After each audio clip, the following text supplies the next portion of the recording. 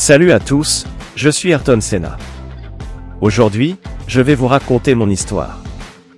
Depuis mon plus jeune âge, j'ai nourri une passion ardente pour la course automobile. Mes premiers pas dans le monde de la compétition se sont faits en karting, où j'ai remporté plusieurs championnats nationaux et internationaux. À la fin des années 70, j'ai pris la décision de partir en Europe pour poursuivre ma carrière en monoplace. C'est là-bas que j'ai pu démontrer mon talent en remportant le championnat britannique de Formule Ford 1600 en 1981. En 1982, j'ai rejoint la Formule 3 britannique et accompli l'exploit de remporter le championnat en 1983. Cette victoire a attiré l'attention des écuries de Formule 1. Mon entrée en Formule 1 s'est faite en 1984 avec l'équipe Tolman.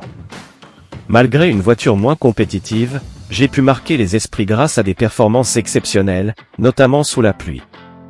En 1985, j'ai rejoint l'équipe Lotus, marquant ainsi le début d'une période de succès dans ma carrière.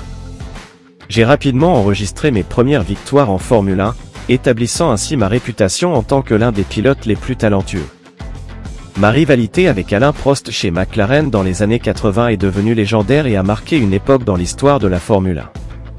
C'était une période intense et compétitive qui a captivé les fans du monde entier.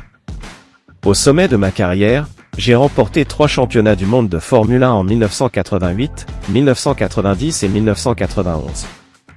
Ces succès ont été le fruit de mon engagement inébranlable et de mes compétences de conduite aiguisée. Parallèlement à ma carrière sportive, j'ai toujours ressenti l'importance de redonner à la communauté.